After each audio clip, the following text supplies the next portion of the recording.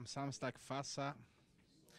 Ja, Fassa ist ein äh, schwieriger Gegner, man kann das nicht äh, unterschätzen, obwohl sie in der Tabelle nicht so weit vorne sind. Aber wir haben oben in Fassa auch nur äh, kämpfen müssen bis zum Schluss, um den Ergebnis zu, nach Hause zu fahren.